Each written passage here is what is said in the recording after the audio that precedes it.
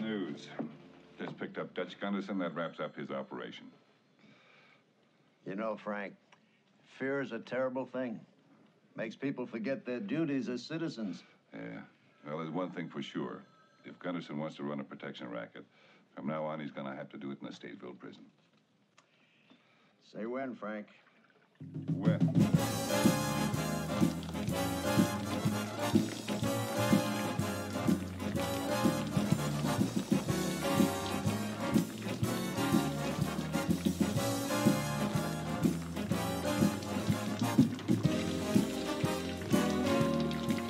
Sure to tune in next week for another exciting story from the files of Police Squad.